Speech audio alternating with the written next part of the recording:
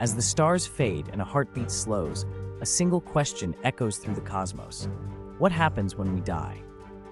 Across every age and culture, humanity has peered beyond the veil, asking if death is an end or a transition. The Egyptians mapped the soul's journey in the Book of the Dead. Tibetan monks believe in endless reincarnation. Always we sense there's something more. Today, science enters the mystery. People who survive near death recount tunnels of light, reunions with lost loved ones, or floating above their own bodies. Are these just the brain's last flickers, or hints that consciousness can exist beyond matter? Neurons firing fade into galaxies, mind reaching past the physical. Spiritual traditions whisper of souls reborn, parallel worlds, and energy that never dies. Physics agrees, energy cannot be created or destroyed.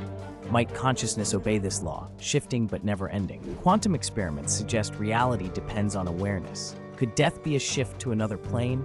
Children recall past lives. Some relive every act of kindness or cruelty. Are these memories from another existence? If death is only a doorway, who built it? Where does it lead?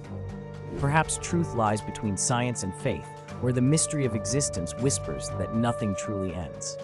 The mystery continues. Subscribe for more unexplained truths.